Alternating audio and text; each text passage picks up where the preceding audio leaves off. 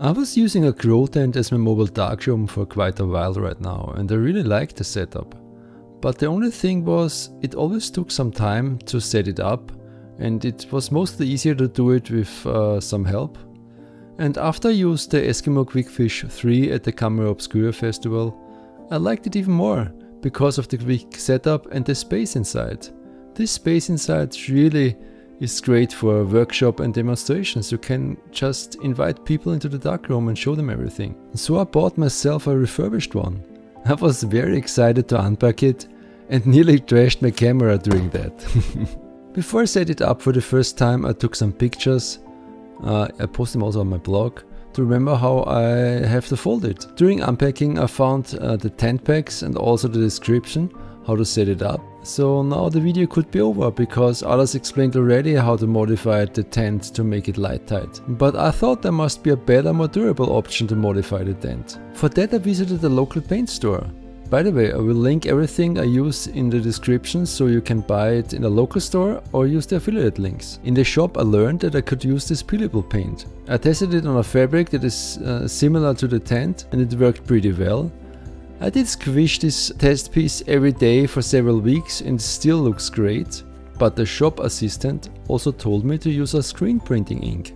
This ink is also used to paint truck tarpaulin, so after I heard that I was really impressed and I thought I have to get something like that. He hasn't had the uh, ink in his shop so I tried to, to find it another one. I was not able to find it locally, so I called this shop in Germany and asked for one that is suitable for my tent. The owner was super nice and explained to me what paint I should use and that I need an additional cold fix for the paint so it cures under normal temperature. Before I started to paint my tent I mixed the screen paint with the cold fixer, for that I was wearing gloves and goggles to be safe.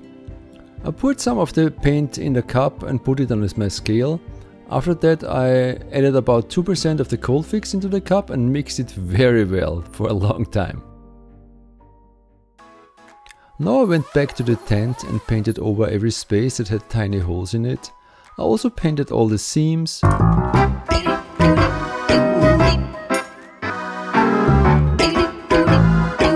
It was super hot in the tent and I was sweating like crazy. and my conclusion after a month is that it is really great and it's very flexible. Now my last challenge was to fix the zipper. A lot of people hang black fabric over it or block the light with a black reflector. I wanted to do an easier permanent solution. So I built a cover for the zipper, like you have it on your jeans.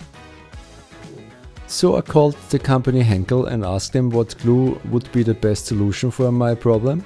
They forwarded my question to a technician who called me back and suggested to use the classic uh, Pattex power glue and he also suggested to hammer it down. So let me show you what he meant with that. After I got a stiff and very light tight fabric, I traced the shape of the zipper, cut it out, put the glue on the tent and on the fabric uh, after that both needed to, to dry for about 15 minutes. And now I press them together and uh, after pressing it together there comes the fun part. The stronger the bond between these two fabrics should be, the stronger you must press it together. So I used a wooden board and a hammer to make a strong connection. Just be careful to not get any glue on the zipper and don't hammer on the zipper so you will damage it. One more thing I had to do is to create windows for it. So these are the original ones. And here I put Velcro on red gelatin filters. These are the same filters as I used in this video I will link below. This is the television video. For very bright locations I put another Velcro on the red gelatin filter so I can stack them together.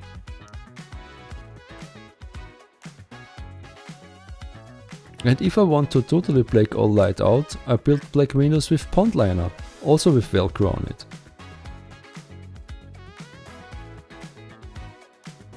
Now I'm gonna show you the finished tent with all the parts I use. For the floor I use a big piece of pond liner. That is great for blocking out the light and also as backup insurance if you spill some chemicals on the ground. And it also avoids too much humidity in the tent that could come from the ground.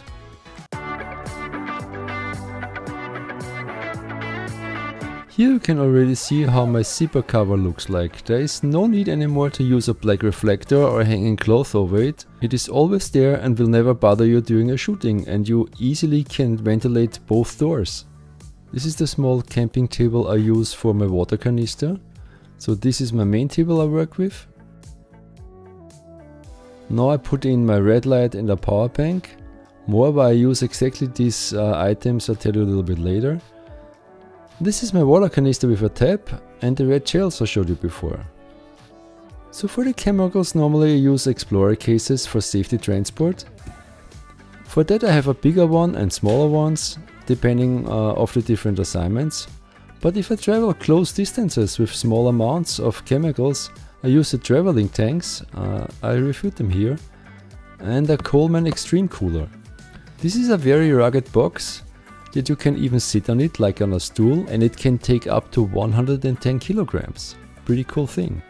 Let's start with the table and let me explain why I like this one a lot. It is very rugged, stable and adjustable in height. It can handle up to 60 kilograms and folds to a pretty small form factor. I have a second one that does not fold that much but can handle 120 kilograms. I know it's not important for us to have tables that can handle that much weight, but it is important for us to have stable tables and these tables from Lifetime are really great. I bought everything by myself, nothing is sponsored, I just share what I think works great for me. This small table is just for the canister so I can put the trays for washing underneath. You can see now it's pitch black inside when I close the zipper, pretty cool. And now I mount the red gel windows so you guys can see how well they work. So why do I recommend this power bank? First of all, it lasts for a very long time. Second, you can charge your phone or your AirPods wirelessly. And third, you can charge the power bank with USB-C, micro USB or a lightning cable, so you don't need any adapter with you, just your phone or laptop charger. I think that's pretty cool. I like to use these red light strips because they can be controlled with a remote and with your phone. So why is this important? Because I lose these remote controls pretty often or forget them at home. If that happens, I can still use my phone to change the color. To mount the light strip on the tent, I use these little clips to avoid any scratches on the fabric of the tent. You know, if I would try to mount it between the rods and the tent, I for sure would scratch the tent, so I think the solution with the clips is much better. And now I can show you how well the covers for the zippers are working. You know with that in place you can easily open both doors and ventilate the tent without dealing with any reflectors or hanging cloth all the time. You just open it and close it and you're done. All this testing with color and uh, gluing the covers and all that stuff took me a really long time so I hope I could make your life easier with this tutorial. As said I put links to everything down in the description. You can also find their links to support me so I can make more videos like that. If you found this tutorial helpful, you know what buttons you can use uh, down there. Subscribe and hit the bell icon to see more of my videos and as always, I'll be back guys!